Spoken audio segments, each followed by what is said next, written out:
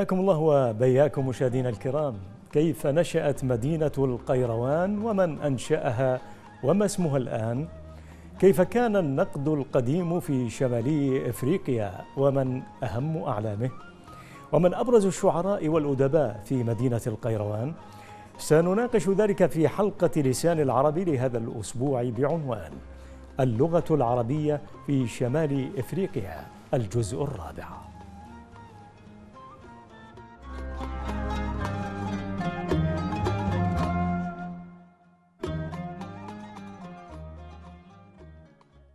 أهلا بكم مشاهدينا الكرام من جديد في لسان العرب من الرافدين ونذكر بموضوعنا هذا الأسبوع اللغة العربية في شمال إفريقيا الجزء الرابع. نرحب بضيفنا الأستاذ الدكتور حمدي بخيت أستاذ اللغة العربية بجامعة جيرسون التركية. مرحبا بكم أستاذنا. أهلا وسهلا ومرحبا. حياكم الله. ونرحب أيضا مشاهدينا بضيفنا عبر سكايب من مدينة جيرسون الدكتور محمود بن راس أستاذ اللغة العربية المساعد بجامعة جيرسون التركية. حياكم الله ومرحبا بكم دكتور. أهلا بكم ومرحبا. إذا دكتور حمدي نبدأ منك وحدثنا عن مدينة القيروان عن نشأتها من أنشأها وما اسمها الآن؟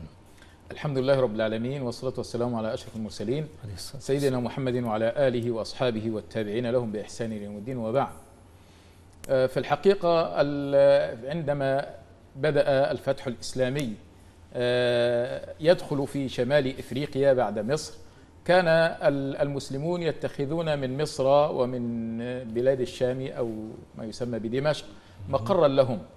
فكانوا يفتحون أو يغزون ويفتحون بعض المناطق ثم يعودون إلى مصر أو إلى بلاد الشام.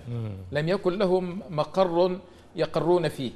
فهذا استدعى أن يوجدوا مقرا في هذه الأماكن لأنهم عندما يفتحون هذه المناطق ويعودون كان أهلها يرتدون مرة أخرى عن الإسلام وينقضون العهود التي أخذت عليهم. نعم. فما كان من معاوية ابن حديج الذي غزا هذه المنطقة ثلاث غزوات سنة 34 وسنة 40 وسنة 50 من أن اتخذ مكانا يسمى القرن وحفر الآبار وبنى المساكن وسميت هذه المنطقة بالقيروان. هذه القيروان الأولى. ثم لما تولى عقبة بن نافع الذي توفي سنة 63 من الهجرة لم تعجبه هذه المنطقة. فسار في المنطقة ورأى مكانا أفضل من هذا المكان لكنه كان ممتلئا بالأشجار وغير الأشجار وكان فيه كثير من الحياة والعقارب والوحوش فما كان منه إلا أن نادى على هذا المكان كما يذكر ابن الحكم صاحب فتوح مصر وشمال إفريقيا. فيذكر بأنه نادى على من في هذه الأجمة من الوحوش والحيات والعقارب فقال لهم إنا نازلون فارتحلوا. نعم وكان عقبة بن نافع مستجاب الدعوة. فيعني رواية تقول بأنه نادى عليهم ثلاثة أيام طيب. ورواية قال بأنه نادى عليهم ثلاث مرات في يوم واحد وانتظروهم إلى أن خرجوا فخرجوا جميعا. حتى إن كتاب التاريخ الإسلامي وكتاب السير يكتبون بأنه بقيت هذه المنطقة لمدة أربعين عاما لا ترى فيها حية ولا عقرب. بفضل دعاء سيدنا طيب. عقبة. يعني هذه المنطقة اتخذت القيروان وصارت عاصمة لولاية شمال إفريقيا. يعني قبل تونس وقبل أن يدخلوا إلى المنطقة ما يسمى وسميت أيضا إفريقيا. إفريقية نعم سميت إفريقية ثم بعد ذلك صارت تونس, تونس يعني سلام. تابعة لتونس لأنها خربت على يد بعض القبائل العربية التي ذهبت إلى بلاد المغرب طيب. آه نعم فلما خربت صارت تسمى تبعا طيب. للبلدة الكبرى دكتور وهي تونس ما أصل اسم القيروان؟ يعني قالوا بأنها من الألفاظ الفارسية المعربة آه يعني هذا ما يذكره يقوت الحموي يقول القيروان يذكره يذكر نقلا عن الأزهري في تهذيب اللغة القيروان معرب وهو بالفارسية كرافان آه، لأن الواو المتحركة النق في بالفارسية. يقول وقد تكلمت به العرب قديما. يعني مما عرب. دخل إلى العربي نعم. هناك أثر؟ امرؤ القيس وغارة ذات قيروان كأن أسرابها الرعال. آه لامرؤ القيس. امرؤ القيس وما دامت نعم. اللفظة وردت في شعر عربي قديم في العصر الجاهلي فصارت عربية, عربية. بالتحدث. صحيح. وفي جزئية أريد أن أقول في المعرب الفارسي. يعني قالوا بأن كثيرا من الألفاظ التي قال عنها العرب بأنها فارسية آه، آه، نسبتها غير صحيحة. لماذا؟ قالوا لعلها من آه، موافقة اللغات هذا أمر أو الأمر الآخر ربما تكون من العربية الأولى العربية الأولى يقصدوك يقصدون الآرامية آه. كل هذه هذه يسمونها العربية التي لها أصل واحد يعني. أصل واحد ودخلت إلى بلاد فارس ثم دخل أتت مرة إذن أخرى إلى إذن أصلها بلاد عرب أصلها عربي. أصلها عربي. هكذا. نعم. نعم. نعم. إذا من هنا آه، دكتور محمود حياكم الله مجددا. حدثنا إذا عن النقد القديم في آه، شمالي أفريقيا ومن أبرز آه، أعلامه. نعم تحية أخرى لكم وللمشاهد الكريم. في الحقيقة لما يتحدث المؤرخون والباحثون غالبا لما يكون الموضوع بلاد الغرب الإسلامي عن الدولة الصنهاجية خاصة يعني يتحدثون بالخصوص عن فترة الدولة الصنهاجية خاصة فترة المعز بن باديس وابنه تميم تميم من بعده. حيث يذكر المؤرخون أن البلاط الصنهاجية في هذه المرحلة ازدحم بأعداد كبيرة من رجال العلم والسياسة والثقافة والأدب وكثير من الشعراء الفحول المغاربة الأصليين مع عدد لا بأس به من شعراء الأندلس وعدد بسيط من آه، المهاجرين المشارقة إضافة إلى عدد كبير من علماء اللغة والكتاب والنقاد وهذا كله في فترة الدولة الصنهاجية ولا ينكر أحد أن القاعدة التي انطلق منها الأدباء والنقاد المغاربة في تلك الفترة وقبلها وبعدها كانت التراث المشرقية بكل طرائه وتفاعلاته ومميزاته. لكن المغاربة استدعوا مع تراكم السنوات والرغبة في تحقيق الذات أن يعرفوا عن أنفسهم بأسلوب خاص عكس شخصيتهم وواقعهم وتجلى ذلك في كتاباتهم وأشعارهم ونقدهم فشكلوا بذلك مدرسة أدبية ونقدية خاصة بهم. ولعلنا نذكر في نذكر أن من أهم نقاد هذه الفترة وأعني بذلك فترة الدولة الصناعية عبد الكريم النهشلي وإبراهيم الحصري وأبي جعفر القزاز وابن شرف القيرواني وأشهرهم طبعا ابن رشيق القيرواني وفي مراحل متقدمة بعد ذلك نجد ابن ابن ابن البناء العددي والعبدري وحازم القطجني وغيرهم. من آه، الملفت للاهتمام فيما يتعلق بهذا الموضوع أن أغلب الذين كتبوا عن النقد المغاربي القديم ركزوا على الفترة الممتدة من نهاية القرن الرابع الهجري إلى نهاية القرن الثامن الهجري. نهاية القرن الرابع الهجري يعني فترة ابن رشيق القيرواني وطبقته. باعتبارها فترة الازدهار والتبلور للنقد الأدبي في بلاد الغرب الإسلامي ولم يتعرض أحدهم إلى أو أحد منهم إلى ما قبل هذه الفترة التي سبقت وأسست لها وكانت آه، إرهاصا لظهورها إلا بشكل بسيط ولعل سبب ذلك سبب ذلك عائد إلى نقص المدونات المغاربية في هذا المجال. لكن مع الإقرار بندرة المصنفات النقدية والأدبية المغربية القديمة إلا أن المادة العلمية موجودة لكنها متناثرة في كتب الطبقات والتراجم والرجال والتاريخ والأنساب إلى جانب كتب الكنى والألقاب وبعض كتب الفقه والحديث وغيرها. إلى باحثين جيدين يخرجون لنا هذه نعم. المواد. نعم. تحتاج إلى باحثين جيدين يستخرجوا هذه القضايا النقدية صحيح. وتحتاج إلى باحثين يمتلكون مختلف الأدوات العلمية. يعني ليس المتعل... ليس المتخصص بالنقد والأدب فقط بل يجب أن يكون على اطلاع بما هو موجود في كتب الحديث وكتب الفقه باعتبار أن عصر التدوين. نحن لما نتكلم عن المرحلة التي تسبق القرن الرابع الهجري يعني نتحدث من مرحلة تدوين العلوم الإسلامية من مرحلة تكوين العلوم الإسلامية. البحث في هذه المرحلة شاق ومضن جدا باعتبار أن العلوم لم تنفصل ذلك الانفصال الذي نعرفه نعم. اليوم. طيب.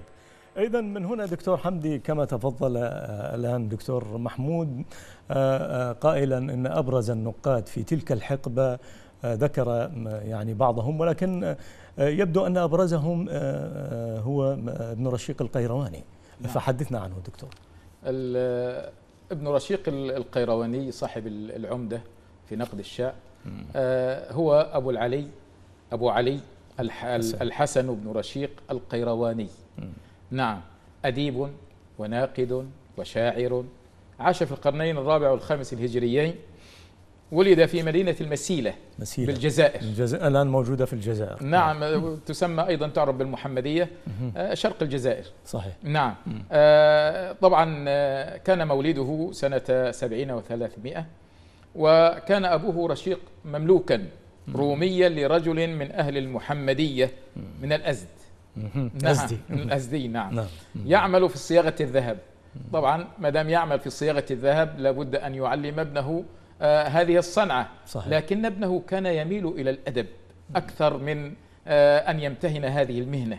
فتاقت نفسه إلى أن يزداد في من أمور آه تعلم الأمور الأدب وغيره. فما فرحل إلى القيروان.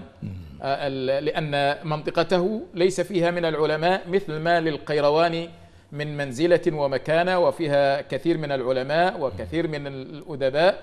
ف وكان ذلك عام ست وأربعمائة من الهجرة. آه، وصارت له شهرة ومدح صاحبها ابن باديس. في سنة سبعة عشرة وأربعمائة يعني في بداية القرن الخامس. نعم. نعم. آه، اتصل بخدمته. وكانت القيروان في ذاك الوقت عاصمة لدولة بني زيري الصنهاجيين يعني ربما بالضم وربما بالكسر يعني والضم والكسر عامة في اللغة العربية جائز لأن الضمة والكسرة من الحركات الضيقة التي ينوب بعضها مناب بعض. صحيح. هذه من القواعد اللغوية المضطردة عامة عندنا في اللغة يعني. جميل. نعم. إذا اشتهر في تلك الحقبة نعم. بمدحه ابن باديس. نعم. نعم. و... ف... وأيضا تلمذ لمشاهير علماء القيروان. آه، من أمثال أبي عبد الله محمد بن جعفر القزاز القيرواني النحوي اللغوي وأبي محمد عبد العزيز بن أبي سهل الخشني الضرير وأبي إسحاق الحصري القيرواني والنهشلي والراوية محمد بن إريس السمين إلى غير هؤلاء. آه، مدح ابن رشيق حاكم القيروان معز بن باديس بقصائد حازت إعجابه وكان سببا في تقريبه ثم اتصل برئيس ديوان الإنشاء بالقيروان. نعم أبي الحسن علي بن أبي الرجال الشاعر الأديب الفلكي ومدحه وألف له كتاب العمدة في محاسن الشعر ونقده وآدابه. يعني هو بدأ شاعرا ثم ناقدا. نعم ثم غالبا الناقد المتميز يبدأ شاعرا. صحيح. نعم إن لم, إن لم يبدأ شاعرا يكون نقده ليس صحيح جيدا. تكون له ملكة ويتذوق نعم. الشاعر لكي يعني يجمع بجوار. العلم المنضبط الملكة الذوقية. صحيح. وهذا ما يحتاجه النقد الأدبي. مم. يعني بجوار الأمر المنضبط في الناحية اللغوية مم. لابد من الذوق لابد من هذا الشاعر مطبوع أو مم. شعره مصطنع إلى آخره من هذه الأمور. له ديوان شعر دكتور؟ نعم. آه، مشهور. آه طبعا ابن رشيق عاش في القيروان إلى أن زحفت آه، القبائل العربية. طبعا القبائل العربية في القرنين الرابع والخامس الهجريين هي بن هي بنو هلال وبنو سليم. صحيح. آه، هي اللي زحفت إلى بلاد إلى مصر المغرب العربي. المغرب العربي. نعم, نعم. آه، هي كان لها مزاياها ولها عيوبها. من مزاياها أنها يعني مكنت للغة العربية في هذه المنطقة. وإلا كانت اللغة العربية تصير مثلما صارت بلاد فارس وغيرها صارت بلاد فارس وغير بلاد فارس طيب. إلى ما صارت إليه نعم. آه، طبعا آه، ترك القيروان ونعم وذهب إلى غادرها إلى مدينة المهدية أقام نعم. فترة في كنف أميرها تميم بن المعز آه، لكنه ما لبث أن ترك المهدية إلى جزيرة الصقلية طيب. وأقام بمدينة مازر إلى أن وفاته منيته سنة 56 و400 طيب دكتور. وقيل 63 وقيل 64 أبرز الكتب العمدة. طبعا نعم. لأن أغلب كتبه أغلب كتبه لم تصل إلينا. كتاب العمدة في محاسن الشعر ونقده وعيوبه. له ديوان شعر جمعه الدكتور عبد الرحمن ياغي. كتاب طراز الأدب كتاب الممادح والمذام.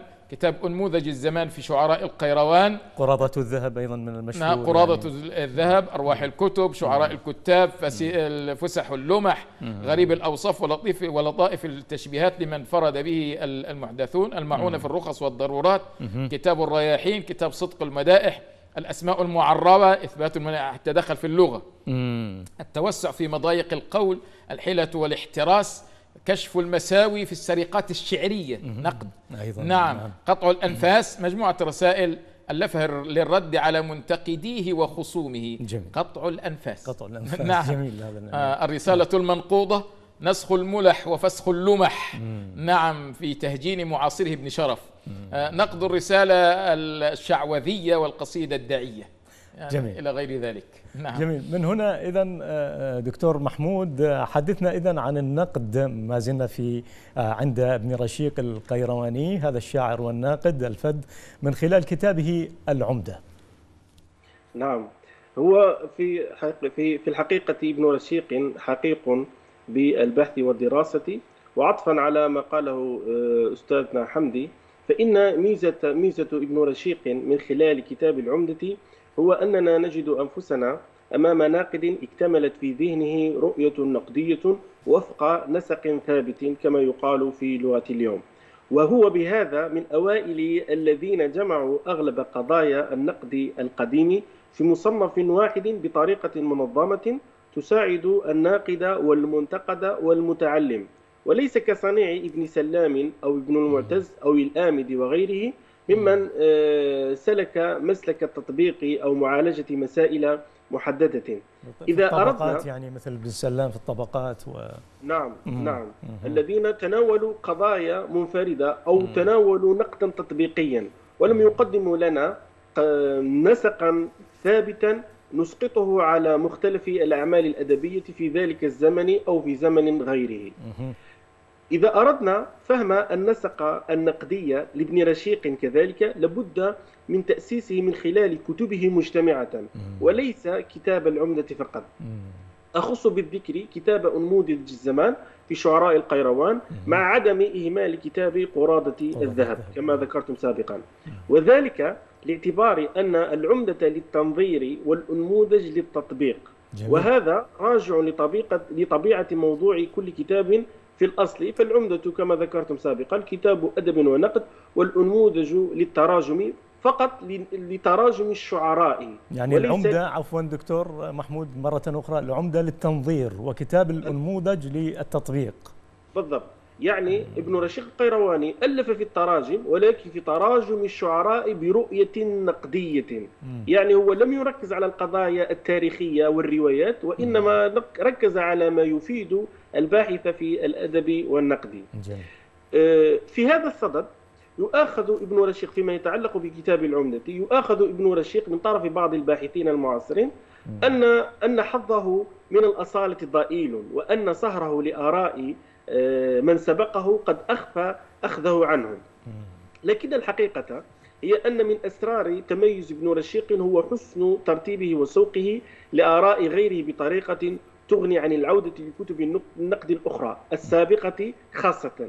وكما قال ابن خلدون في حقه ولئن كان آه، حظ ابن رشيق من الأصالة ضئيل إلا أن هذا لا يعني عدم حضور شخصيته ومواقفه. بالمختصر إذا أردنا يعني آه، جمع تجربة ابن رشيق قيرواني النقدية من خلال العمدة فإننا نجد التالي. أولا نجد لدى ابن رشيق طرافة التجربة إذ أنه سابق لغيره في منهج تناول بعض القضايا النقدية. ثانيا نجد لدى ابن رشيق الجرأة جرأة. لأنه خالف إعلام النقد في عصره وناقض آراءهم بما يسمى اليوم بنقد النقد. ثالثا نجد عنده كذلك طرافة الرأي. رابعا نجد لديه كذلك الثورة على بعض التقاليد الشعرية وعلى المتطفلين في الميدان الأدبي. جميل. آه، يعني المطلع على تراث ابن رشيق يشعر بتلك الشخصية الثائرة في يعني. آه، لدى هذا العلم حيث أنه ليس ذلك الشخص الذي يجمع أو ينقل آراء الآخرين من غير نقد سواء كانت متعلقة بالأدب والشعر بصفة خاصة أو بغيرها من القضايا كالتاريخ وغيره. آه، النقطة الأخيرة وهي اتساع آه، نطاق الفهم النفسي عنده لوظيفة الشعر. يعني ابن رشيق آه، ليس رغم تقدمه ليس كغيره من النقاد الذين يركزون على القضايا المتعلقة باللغة والذوق فقط وإنما يعطي للأدب ذلك النطاق الإنسانية الواسع. جميل. إذا آه، مشاهدينا الكرام فنتوقف الآن هذه الوقفة القصيرة مع فقرة ديوان العرب. ستكون هذا الأسبوع مع آه، الشاعر أبي البقاء الرندي صاحب مرثية الأندلس. أبو البقاء الرندي. هو صالح بن يزيد الأندلسي لقب الرندي نسبة إلى مدينته رندة الواقعة في جنوب الأندلس وكان يكنى بأبي البقاء وأبي الطيب. ذاع صيته بعد قصيدته الشهيرة التي تعرف بمرثية الأندلس. قال فيها لكل شيء إذا ما تم نقصان فلا يغر بطيب العيش إنسان هي الأمور كما شاهدتها دول من سره زمن ساءته أزمان. وهذه الدار لا تبقي على أحد ولا يدوم على حال لها شان. أين الملوك ذو التيجان من يمن؟ وأين منهم أكاليل وتيجان؟ وأين ما حازه قارون من ذهب؟ وأين عاد وشداد وقحطان؟ أتى على الكل أمر لا مرد له حتى قضوا فكأن القوم ما كانوا. فجائع الدهر أنواع منوعة وللزمان مسرات وأحزان. عندكم نبأ من أهل أندلس فقد سرى بحديث القوم ركبان كم يستغيث بنا المستضعفون وهم قتلى وأسرى فما يهتز إنسان؟ بالأمس كانوا ملوكا في منازلهم واليوم هم في بلاد الكفر عبدان. يا رب أم وطفل حيل بينهما كما تفرق أرواح وأبدان. وطفلة مثل حسن الشمس إذ طلعت كأنما هي ياقوت ومرجان. يقودها العلج للمكروه مكرهة والعين باكية والقلب حيران. لمثل هذا يذوب القلب من كمد. إن كان في القلب إسلام وإيمان.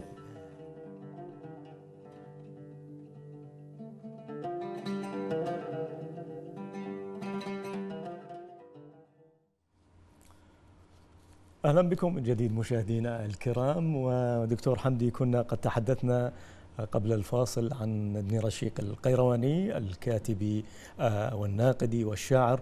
الآن سنتحدث أيضا عن علم من آه، وعالم من علماء القيروان هو القزاز القيرواني. نعم. تفضل. آه، هو أبو عبد الله محمد بن جعفر التميمي النحوي المعروف بالقزاز القيرواني. كان إماما علامة قيما بعلوم العربية وكان الغالب عليه علم النحو واللغة والافتنان في التواليف. نعم. تأليف يعني. من ذلك كتاب الجامع في اللغة. وهذا الكتاب آه، يقول عنه يقوت الحموي وإن, وإن لم يكن هذا الكتاب قد وصل إلينا. يعني مثل آه، كتاب التهذيب في اللغة في الكبر. في كبر حجمه. آه، ورتبه على حروف المعجم. وله كتاب ما يجوز للشاعر استعماله في ضرورة الشعر. كان مهيبا عند الملوك, عند الملوك والعلماء محبوبا عند العامة. آه، يعني كان قليل الخوض إلا في علم دين أو دنيا. يملك لسانه ملكا شديدا. جميل. نعم كان له شعر مطبوع مصنوع. ربما جاء به مفاكهة وممالحة. اتصل بالخليفة الفاطمي المعز لدين الله في سنة آه، إحدى وستين وثلاثمائة قبل أن ينتقل إلى مصر. طلب منه أن يضع كتابا آه، في الحروف. لعله في حروف المعاني مثل مغني اللذيذ يعني آه. وضع كتابا في هذا يشبه المغني نعم نعم, هشام. نعم. آه لكن للأسف آه ليس من الكتب الموجودة الآن في كتب حروف المعاني نعم. رحل إلى بلاد المشرق وأخذ عن الآميري صاحب ابن دريد والأخفش وأقام مدة طويلة في مصر آه، خدم الفاطميين وبخاصة العزيز الذي ألف له عدة مؤلفات ورجع إلى إفريقية بعد موت العزيز آه، سنة ست وثمانين وثلاثمائة من الهجرة على الظن الغالب فدرس اللغة والأدب. وقد أثنى على القزازي كثير من العلماء من معاصريه. نعم. ومن جاء بعدهم يقول تلميذه الحسن بن رشيق في كتابه الأنموذج إن القزاز المذكور فضح المتقدمين وقطع ألسنة المتأخرين. وكان مهيبا عند الملوك والعلماء وخاصة الناس محبوبا عند العامة. قليل الخوض إلا في علم دين أو دنيا يملك لسانه ملكا شديدا. هذا قول ابن رشيق؟ ابن رشيق. تلميذ ابن رشيق تلميذ, تلميذ القزاز. القزاز نعم. ومن تلامذته غير غير ابن رشيق ابن شرف. ويعلى الأريسي وابن الربيب وعبد الرحمن المطرز إلى آخره طيب. من هذه الأمور. نعم, نعم. آه طبعا هو توفي بالقيروان سنة اثنتي عشرة وأربعمائة من الهجرة. له تصانيف كثيرة منها أبيات معاني من شعر المتنبي أدب السلطان والتأدب له عشرة مجلدات إعراب الدريديرية مجلد واحد. لعلها القصيدة المقصورة لابن دري. نعم التعريض والتصريح آه، التفسير غريب البخاري الجامع في اللغة الحروف في النحو كما قلنا الحروف المعاني. شرح رسالة رسالة شرح رسالات البلاغة. آه، شرح رسالة الشيخ أبي جعفر العدوي. شرح مثلثات قطرب. أه. نعم. شرحها. كتاب الضاد وأن آه، كتاب الضاد والضاء. ضرائر الشعر. كتاب الغلام. وصف الشاب. يعني له أه. مؤلفات متنوعة في العلوم. متنوعة لكن الغالب عليه موضوع اللغة, اللغة. في اللغة والنحو كثير ما شاء الله يعني. صحيح. لكن للأسف أغلب هذه الكتب لا نجدها يعني. من الكتب لا, لا ندري هل هي من الكتب التي ضاعت أم أنها مخطوطة إلى الآن وموجودة في لم تحقق. لم تحقق. أنا لا أعرف آه، لعل إخواننا في بلاد المغرب يكشفون لنا عن هذه الأمور صحيح. ويخرجونها من أضابير المكتبات إن شاء الله تعالى. طيب. آه، من هنا إذا هذا عود آه، دكتور محمود عود لابن رشيق فله كما ذكرنا شعر جيد جمع في ديوان. ألا تحدثنا عنه دكتور؟ نعم بكل فرح وسرور استاذي الكريم. هو أشكركم على هذا السؤال. فقط أستسمحكم بما أن ديوان ابن رشيد آه، موجود ومتاح للقارئ. أريد أن أجيب على سؤالكم هذا بمقاربة نقدية. يعني نريد أن أن نقدم رؤية آه، تحليلية للشعر ابن رشيق عموما. يعتبر ابن رشيق أو يعتبر ابن رشيق أن الشعر يقوم بعد النية على أربعة أشياء وهي اللفظ والوزن والمعنى والقافية. آه، يعني هذا هو حد الشعر عنده يعني يعني تعريفه له أربعة أركان. بالضبط. هذا هو حد الشعر أو هذا هو مفهوم الشعر عند ابن رشيق وكما اللفظ عفوا. آه، عفوا نعم؟ دكتور. اللفظ والوزن والمعنى؟ والمعنى والقافية. والقافية نعم. هو بصراحة نعم. هذا آه، هذا المفهوم لم ليس بدعا. من ابن رشيق فنجده كذلك عند قدامى ابن جعفر وغيره. لكن يمكن القول أن ابن رشيق تميز بكون كمال ونضج الأفكار يبدو واضحا في مفاهيمه فتأكيده للمعنى إلى جانب اللفظ والوزن يبين مركزيته في الشعرية العربية.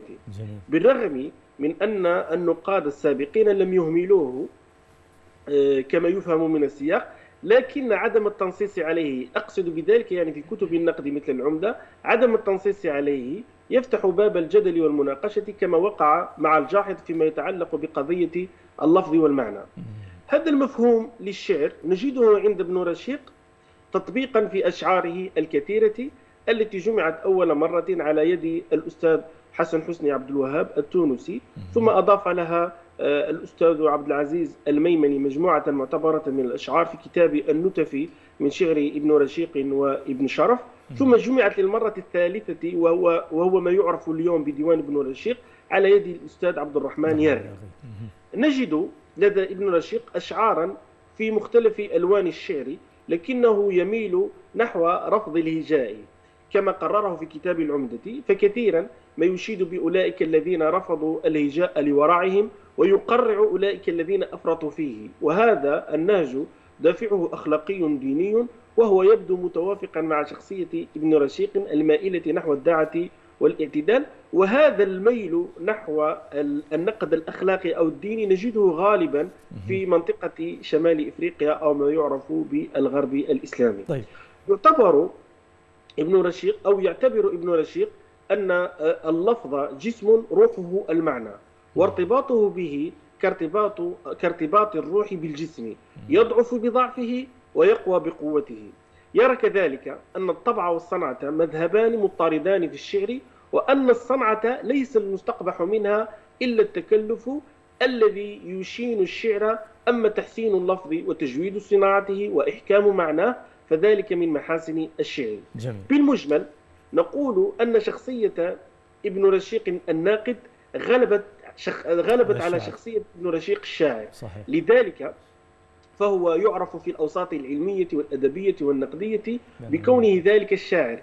ليس لأن شعره ضعيف بل لأن شخصية النقد أو لأن قوة آرائه النقدية وقوة مؤلفاته النقدية غلبت شخصيته آه، الشعرية أو الشاعرية. وإلا فإن فإننا أمام شاعر فحل.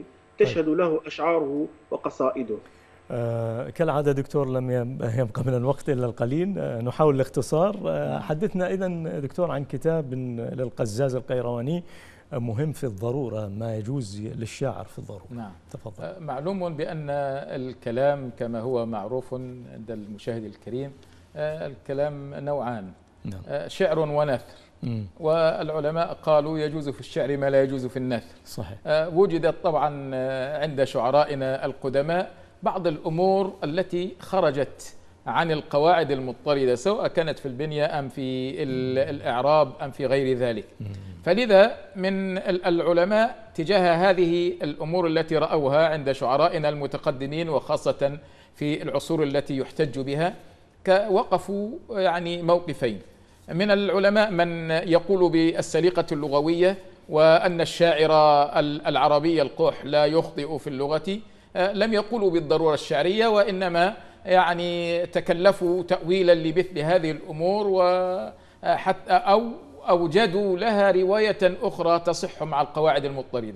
الفريق الآخر هم الذين قالوا بوجود ضرورة شعرية ومن هؤلاء العلماء آه، حمزة بن الحسن الأصبهاني والقاضي علي بن عبد العزيز الجرجاني وابن شرف القيرواني وكاتبنا القزاز القيرواني آه وتحدث في كتاب آه كامل عن الضرورة الشعرية سواء أكانت بالزيادة أم بالنقص سواء أكانت بالإبدال سواء أكانت بالتقديم أو التأخير أو غير ذلك ولكن أخذت عليه بعض الأمور بأنه لم يختط منهجا آه، منسقا أو متكاملا يعني يتكلم عن الضرورة في اللفظ ثم يأتي بالضرورة في المعنى مم. ثم يعود إلى الضرورة في اللفظ مم. يعني غير متسق في آه، الأمر في نعم, نعم. آه، الأمر الآخر آه، يعني قالوا بأنه يتبع اسلوبا أو منهجا واحدا في معالجة كل ضرورة يبدأ ببيان نوع الضرورة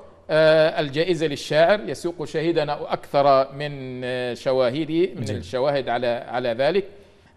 يوجه مخالفة الشاعر للأصل فيها ويعلل لجوازها. وكثيرا ما يورد من أقوال علماء اللغة ما يكشف عن وجه الصواب فيها. طبعا وجه الصواب في مثل هذه الأمور بأن فيه بعض الأمور التي قالوا بضرورتها ما يمكن تخريجه على لغة من لغات العرب أه نعم. نعم يعني نعم. مثل ألم ألم يأتيك والأنباء تمي بما لاقت لبون بني زياد يأتيك, يأتيك.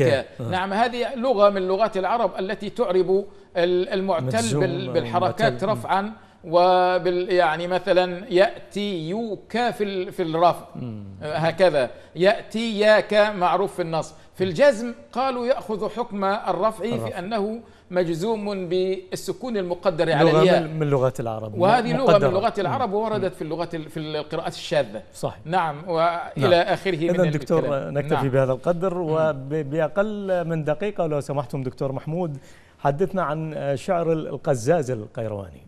تفضل. نعم أستاذي كريم آه، يعني باعتبار الارتباط العلمي آه، يعني الموجود بين ابن رشيق القيرواني والقزاز القيرواني فإن مفهوم الشعرية آه، عند عند الرجلين القزاز وابن رشيق يعني شبيهة إلى حد بعيد. لكن شخصية القزاز التي يغلب عليها الجانب النحوي لذلك فإنه لما ألف في الانتقاد الأدبي قبل أن نتطرق إلى الشعر طرقه من جهة اللغة. ونعني بذلك الضرورات الشعرية كما شرح قبل قليل أستاذنا آه، أستاذنا حمدي.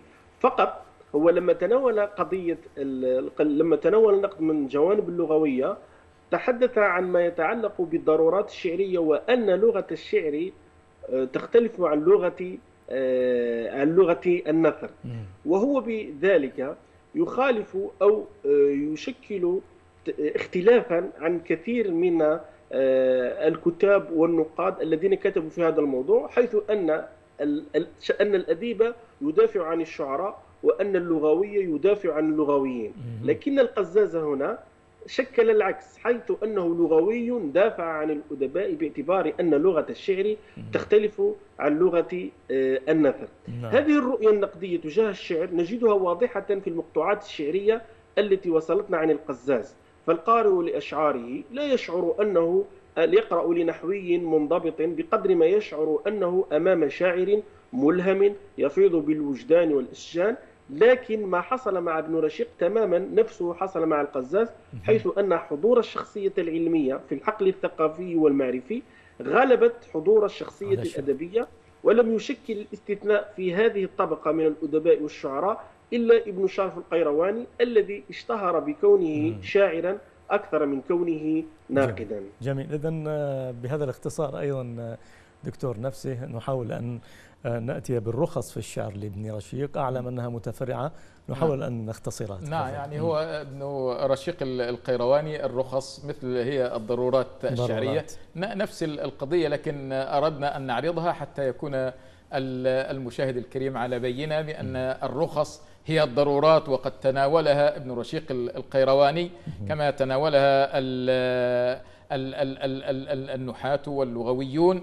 آه، لأن الموضوع الضرورات لكن ابن رشيق معلوم بأنه أديب ناقد آه، له آه، له ذوقه وله اختياراته. آه، تكلم عن الحذف ومن ذلك قصر الممدود على مذاهب أهل البصرة والكوفة جميعا. نعم ومن ذلك وصل ألف القطع وهو قبيح.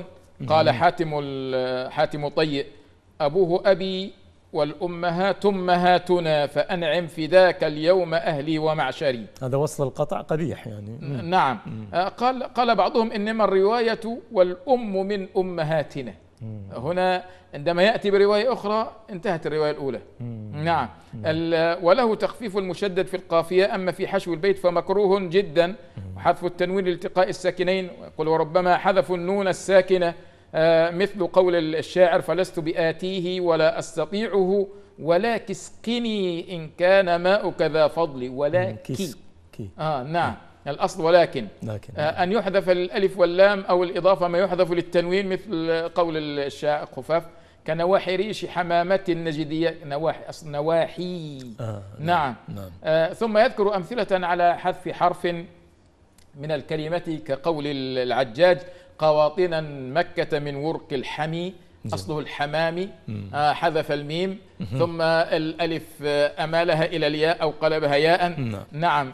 آه حذف حرف أيضا كأن إبريقهم ظبي على شرف مقدم بسبا الكتان ملثوم بسبائب الكتان.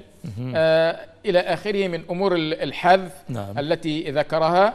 آه ذكر أيضا من أنواع الحذف انتقل إلى الإبدال ويبدلون من الحرف من الحروف السالمة حروف المد واللين لها أشارير من لحو من لحم تثمره من الثعالي ووخز من أرانيها. طيب النقص ده دكتور الثعالي الثعالب آه، أرانيها أبدل. النقص يعني نعم. يعني من أجل الضرورة مثلا حتى إذا بلت حلاقيم الحلق.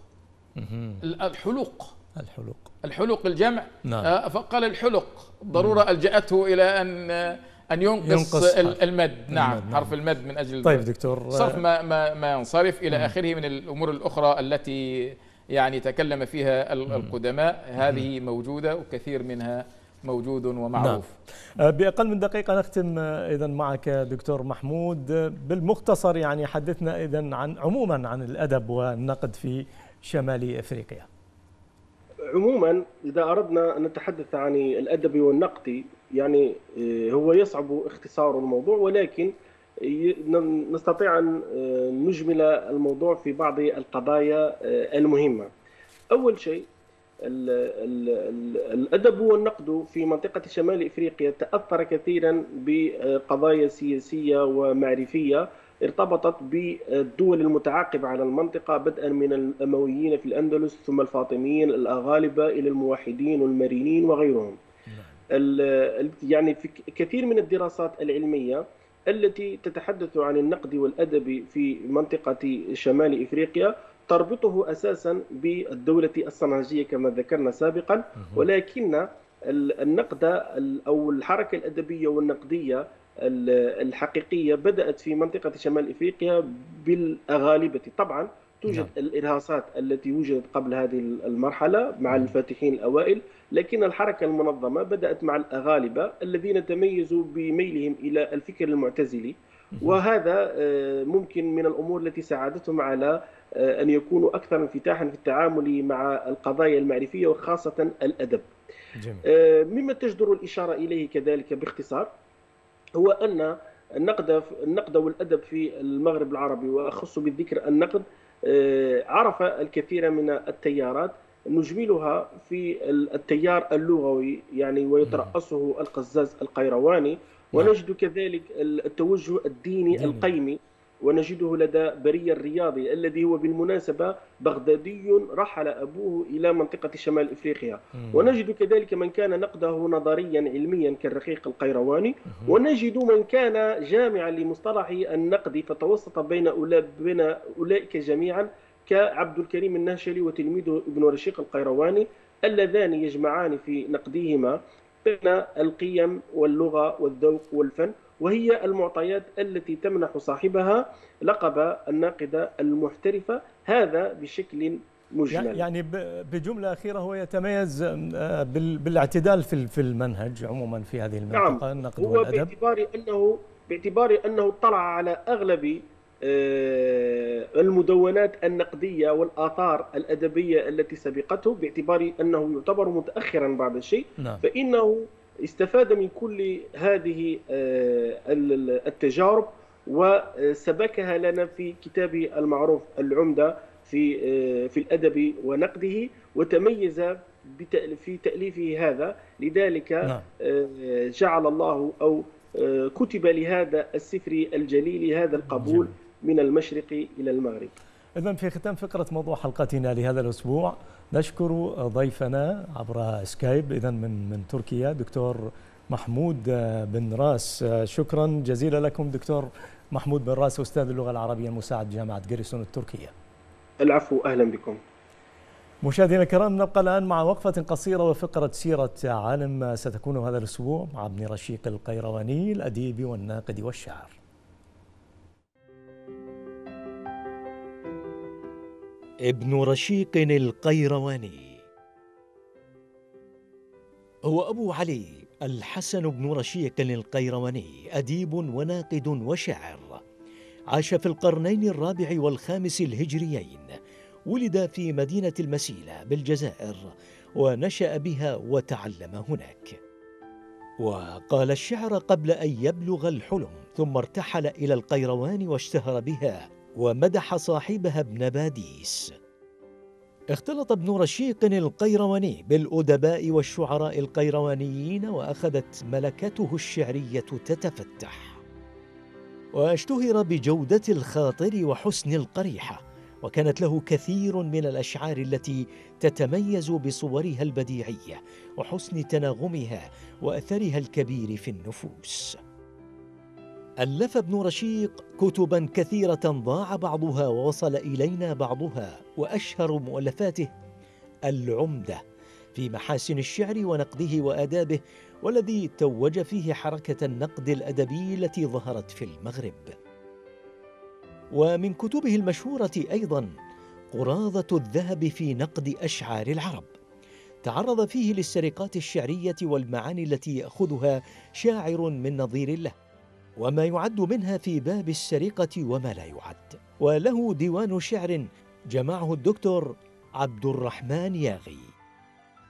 توفي ابن رشيق القيرواني بمازر إحدى قرى جزيرة صقلية سنة ثلاث وستين وأربعمائة للهجرة وقيل سنة ست وخمسين وأربعمائة للهجرة.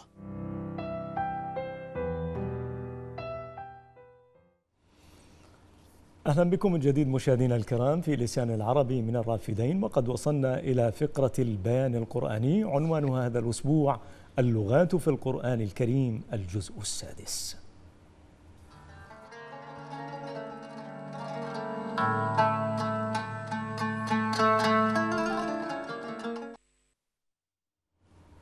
حياكم الله من جديد مشاهدينا الكرام في البيان القرآني ونبدأ من قوله تعالى مثل الذين حملوا التوراة ثم لم يحملوها كمثل الحمار يحمل أسفارا. في سورة الجمعة. ما معنى أسفارا دكتور؟ وما لغتها؟ الحمد لله والصلاة والسلام على رسول الله. آه يذكر السيوطي في كتابه الذي نتناوله بالشرح والتفسير بأن الواسطي ذكر في الإرشاد آه، هي الكتب بالسريانية. وقال الكرماني في غرائب التفسير له كتاب آه، الكرماني تفسير اسمه هكذا. يقول هو نبطي. اولا السريانية لهجة من اللهجات الأرامية يعني لهجة من اللهجات العربية الأولى, العربية الأولى. النبطية كذلك. بل قالوا إن النبطية أو النبط هم قوم من العرب. كانوا يسكنون في ناحية شبه جزيرة سيناء وبلاد المملكة الأردنية الآن. وهم أقرب إلى قريش من عرب الجنوبيين. هكذا قالوا. نعم. ولذا هذه اللفظة هي كلمة عربية يعني بكل أمورها لوجودها أسفار. أسفار. نعم. معناها الكتب. نعم نعم. هكذا. اذا أيضا مشاهدينا من ذلك في قوله تعالى قال أقررتم وأخذتم على ذلكم إصري في آل عمران. ما معنى إصري هنا وما لغتها دكتور؟ نعم. آه، يذكر السيوطي ينقل عن آه، أبي القاسم في كتاب لغات القرآن بأن معناها عهدي بالنبطية. نعم. الكلمة عربية. الفراء يقول والإصر العهد كذلك. قال قال في آل عمران وأخذتم على ذلكم إصري والإصر ها هنا الإثم إثم العقد إذ ضيعوا كما شدد على بني إسرائيل. وقال الزجاج الإصر كذا. إلى آخره من الأمور والمشتقات المختلفة للكلمة مما يبين أن الكلمة عربية. عربية. نعم.